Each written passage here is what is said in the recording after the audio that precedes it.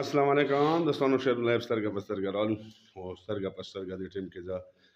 کوټلی کلان یعنی مدرسې نه حضرت ابوبکر رضی الله تعالی عنہ مدرسه ده په دې کې موږ جیات خان او هغه پمنه ته ختم کړو چې کوم موږ د وایس اف کوټلی کلان اډمن دی ابي مور شوی دی او بل موږ حق ته چې هر وای مرګري ته موږ خاتم وکړو او بل چې خدای دې هر ونه بیماری ایسته کی ځکه چې د بیماری دا کاروانه دا او کسه دا موږ پیرټ تیر کړه خدای دې ځان ورته نه باج کی او په دې ټیم کې چې کوم نه مفتی سات صاحب وو دعوا کوي او حاجیت خان چې کوم دی موږ وایس اف کورټیکل نه اډمن دی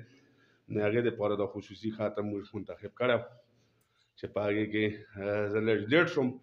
واجه دا وه چې موږ مینا کړي وه خو به دا چل ده چې زه لیټ په دی شوم چې ولې دنیا کارونه نه خلاصېږي کله به چېرته سې او کله به چېرته سې نو د اجیت خان دپاره موږ ختم چې مونتخب کړی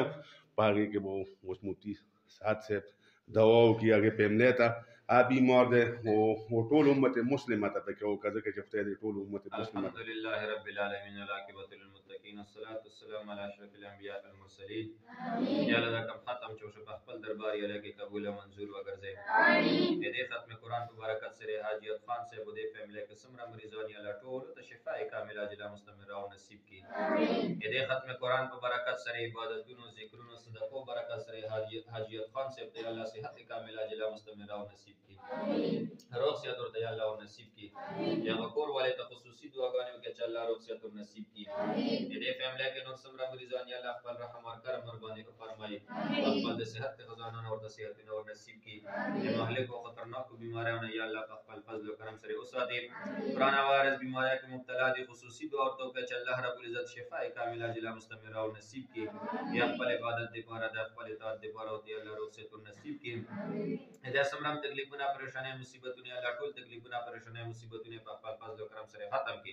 جولای الله خوشاله او ډکه کړي د غمونو دردونو پریشانه مصیبتونه نه وساتي حاجی افغان صاحب فیملی الله حسین حسد نه وساتي شر پسند شر نه وساتي دشمنان به دیو نه وساتي ظالمانو ظلم نه وساتي الله جیلونه عدالتونه سپتولونه په خپل فضل او کرم سره وساتي جادوګر او تعویذګر شر نه یا الله په خپل فضل او کرم سره وساتي ای فیملا کې چا بچی نه یا الله نه کمال او صالحین بچی ورته ویر کې نه چا بچی الله نه فرمانه بد عملیان ورته وساتي یا خپل والدین پر الله په دنیا په آخرت کې سترګې خپل وګرځي یا ټول دی الله عزت دی او د وخت دمنه ولا ژوند نصیب کی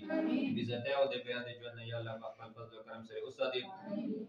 ټول مسلمانانو ته دعا ده چې الله سمره مریضان دي الله ټول ته شفا کامله عاجله مستمره او نصیب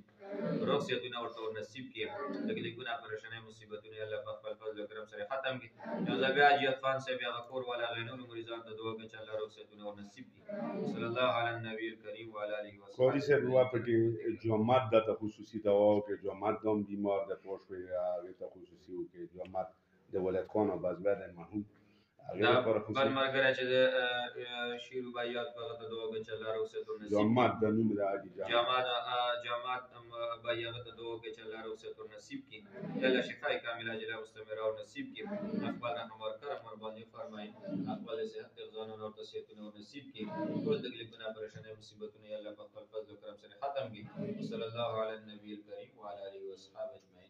امین امین دا جیت خان خصوصي ختم چې کوم دا موږ تا ته کړه او چې تا ماته یدیو خو بس زه نه پدې معافي غواړم چې دا ختم خبر ماته ملاو خو زه پس مصروفیت هم او بل دا چالو چې همانه پیج هم بند کړی دی پوه شو نه پیج په وجوهات باندې چې کوم دی دوی ما ختم کړی یې سبا وختي مې دی ته یې خو بس زه دې ته راونه رسېدم مې چې دا ایم ایس بي اپریشن هم کړم او په هغې کې زه لږ هغه کوم بیا یې د کلي څه مسایل مسایل وي یا هغو خبرې وي د ماشومانو بچیو درته ګلونو درته خاتم کړه او خدای دې دې قبول کړي چې تاسو ته کوم دې بچیو خاتم کړه او بل دا چل دی چې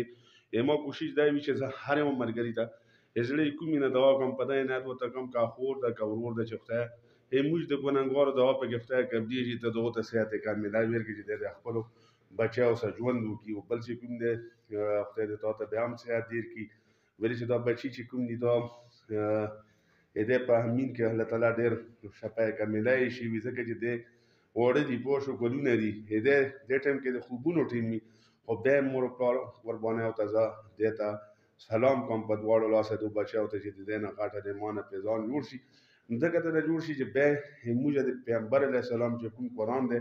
هدې په ځړ کې کو شو په یاد اوسه دی هیڅ سپورو پټیو نه زګی دی الله تعالی په داسې رحم په دو بچاو کې چې دی د دنیا غلام شي دی دنیا غلام نه وي دی دنیا غلام شي ځکه چې د الله کتاب ډېر لوی مقام ساتي نو اجیاز خان د تا لپاره ما ختم وکړو ځکه چې الله دې تا ته صحت ډیر کړي الله دې تا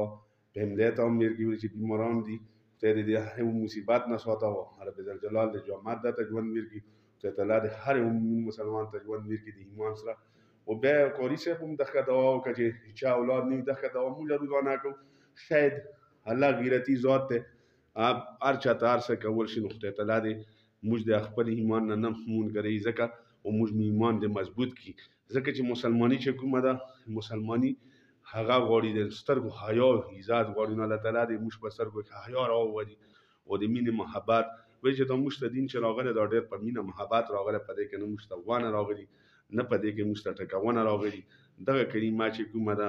دا عظیمه کلمه ده او بیا موږ مسلمانانو ته شکر او باسل په کار په دې دي چې چون شګه راخلو خولې ته یې اچو ولې چې موږ ته د مور خېټه کې کلمه نصیب ده داسې کاپیران شته چې هغه یې دې کلمې نه محرومه دي ولې چې هغه خود پیدا شي خو دا شی په نصیب کې نه بیا چې په الله جل جلاله فضل وکړي او د دین ته راغواړي نو هغه ډېر رتبه وي نو الله تعالی دې موږ په دین قایم ساتي او الله تعالی دې موږ دین هم ورته قایم ساتي ولې چې دا د حضور صلی الله علیه وسلم چې کوم د دو اخیری تو پای موږ ته په دې اسلام کې راکړی ده په دې بدنه زه اجازه غواړم چې ته لر پر پښتانه وې خوشاله آباد اوسې وسلام